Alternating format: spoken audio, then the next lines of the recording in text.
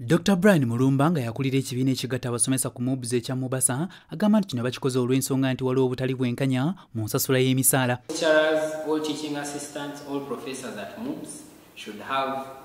harmonized salary uh, as other colleagues and as per the public service.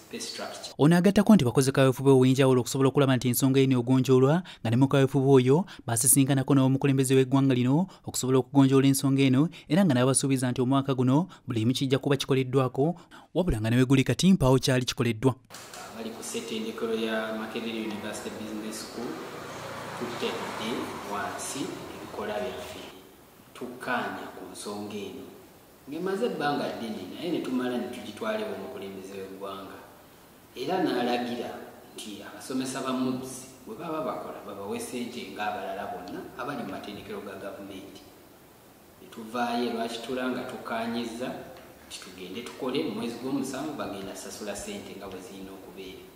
Nyekyewuunyisa nti kati mu mwezi gw'ekkumi n'ogumu era tebannakola ku nsonga eyo. Ye ssaabwandiisi w'ekibiina kino agamba nti mu matendekero agazi yunivasite agali mu ggwanga abasomesa ba ssettendekero wa mobs be buka batasasulwa bulungi. The challenge is that of all the public universities in Uganda, only MOOCs, probably only MOOCs, staff are not getting the salary that they are supposed to get.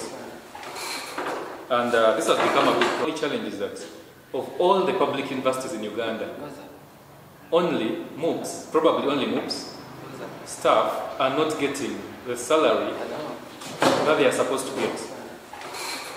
And uh, this has become a big problem. But also it's interesting that uh, the president and the first lady, who is uh, the Minister of Education, numerous meetings and uh, the president even directed that starting July 2020, staff in MOOPS get their right pay as per their positions. dr brian muyomba atonnyonnyedde ensimbi mmeka buli omu z'ateekeddwa okufuna n'emitendera egy'enjawulo? Anga ngaomuntu uh, nga profesa alina afuna miliyoni kumi na ttaano mu emitwalo nkaaga naye nga bamuwa kumi na nnya. N'osanga omulala nga lekicara alina afuna miliyoni musanvu kitundu ate bamuwa miliyoni ssatu.